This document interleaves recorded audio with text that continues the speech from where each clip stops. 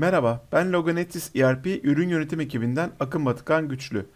Bu videoda 9046 setinde desteklenen sık kullanılan ekranlar menüsü hakkında bilgi veriyor olacağım. Yapılan düzenleme ile soldaki Netis menüsü içerisine sık kullanılan ekranlar adıyla yeni bir menü eklenmiştir.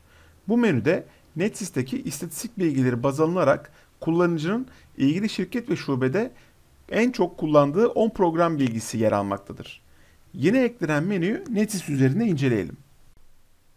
Bu düzenleme ile sol menüde yer alan ve kullanıcıların yönettiği kullanıcı kısa yolları menüsünün üstünde yer alacak şekilde sık kullanılan ekranlar menüsü eklenmiştir.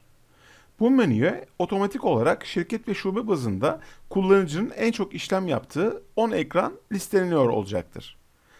Bu bilgi Netis'te tutulan istatistik bilgileri baz alınarak belirlenmektedir.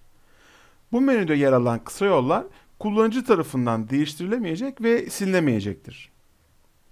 Yapılan bu düzenlemelerle Netis ekranlarına daha kolay ve hızlı erişebileceksiniz. Teşekkürler.